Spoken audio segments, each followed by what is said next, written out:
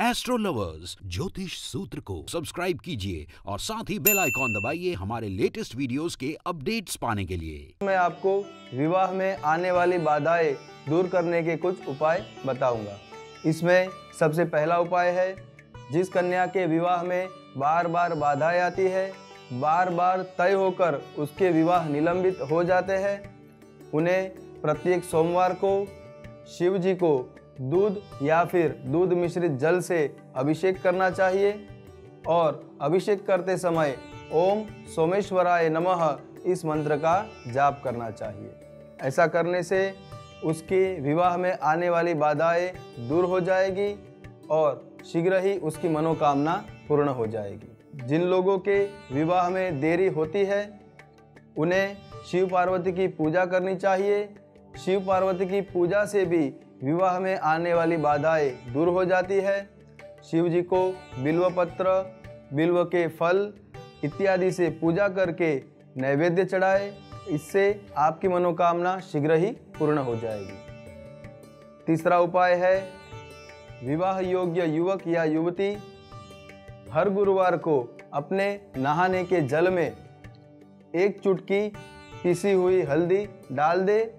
और फिर इस हल्दी मिश्रित जल से हर गुरुवार को स्नान करें। ऐसा करने से उनकी इच्छा जल्दी ही पूरी हो जाएगी और उनके विवाह के योग शीघ्र ही बनने लगेंगे। चौथा उपाय है, जिस युवक या युवती का विवाह नहीं हो रहा है, उन्हें प्रत्येक गुरुवार को कुछ न कुछ पीली चीज़ धारण करनी चाहिए। इससे उनके विवाह में आने वाली बाधाएँ शीघ्र ही दूर हो जाएगी और उनकी मनोकामना पूर्ण हो जाएगी। पांचवा उपाय, विवाह की इच्छा रखने वाले लोगों को प्रत्येक गुरुवार को शिव जी का अभिषेक करना चाहिए और उन्हें शुद्ध गाय के घी का दीपक अर्पण करना चाहिए।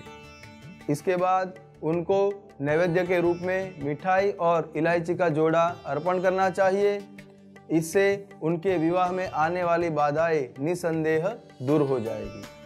छठा उपाय, विवाह की इच्छा रखने वाले व्यक्ति को गुरुवार के दिन केले के पेड़ को जल का सिंचन करना चाहिए।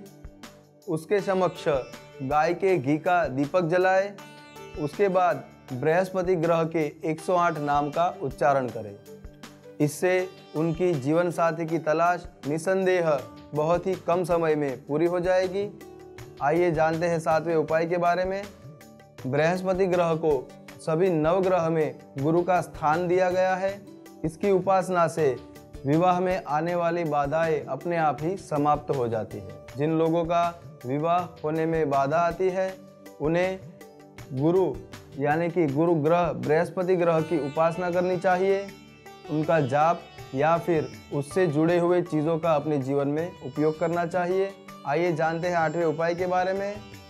मित्रों, गुरुवार का व्रत धारण करने से विवाह में आने वाली जटिल से जटिल समस्या और बड़ी से बड़ी बाधा भी दूर हो जाती है। इसमें गुरुवार के दिन जातक को पीले वस्त्र धारण करने होते हैं और बृहस्पति ग्रह को पीले फूल, पीले फल, पीली सामग्री हल्दी इत्यादि चीज़ों से उनकी पूजा करनी होती है। भोजन में भी इन लोगों को पीली चीज़ों का उपयोग करना चाहिए, जैसे केला और पीले फल, चने की दाल, इन सब सामग्रियों का उपयोग भोजन में उनको करना चाहिए। यदि संभव है तो बृहस्पति ग्रह के किसी मंत्र का जाप गुरुवार को व्रत धारण करने के समय आप नियमित रूप से करते रहे। इस तरह गुरुवार का व्रत धारण करने से आपके विवाह में आने वाली सभी प्रकार की बाधाएँ समाप्त हो जाएगी। आइए जानते हैं नवे उपाय के बारे में। जिन व्यक्तियों की शादी मंगल दोष की वजह से नहीं हो रही है, उन्हें प्रत्येक मंगलवार के दिन चंडिका स्तोत्र और हर शनिवार के दिन सुंदर कांड का पाठ अवश्य करना चाहिए। इससे उसके जीवन में शीघ्र ही विवाह के योग बन जाते हैं। दर्शकों, जिस जातक का विवाह बहुत ज़्यादा उम्र होने के बाद भी नहीं हुआ है, उनके लिए यह उपाय बहुत ही कारगर साबित हुआ है।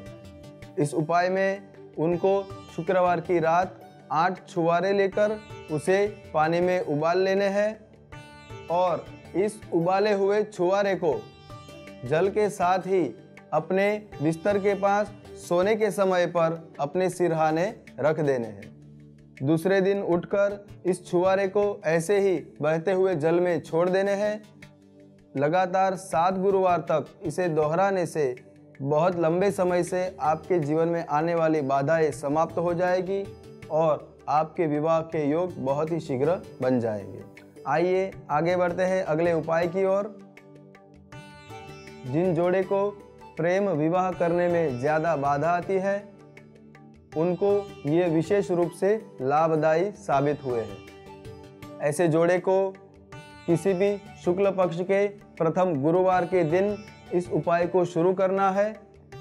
शुक्ल पक्ष के प्रथम गुरुवार के दिन उनको लक्ष्मी नारायण की फ़ोटो या फिर लक्ष्मी नारायण की मूर्ति के समक्ष बैठकर ओम लक्ष्मी नारायणाय नमः।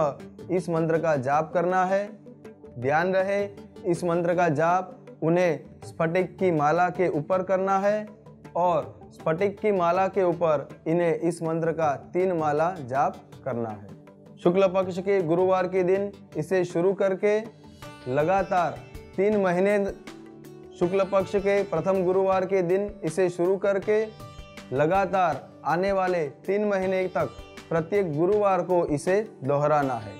और इस दौरान उन्हें प्रत्येक गुरुवार के दिन लक्ष्मी नारायण के मंदिर में प्रसाद भी चढ़ाना है। ऐसा करने से इस जोड़े के विवाह में आने वाली बाधाएँ समाप्त हो जाएगी और शीघ्र ही उनका प्रेम विवाह हो जाएगा।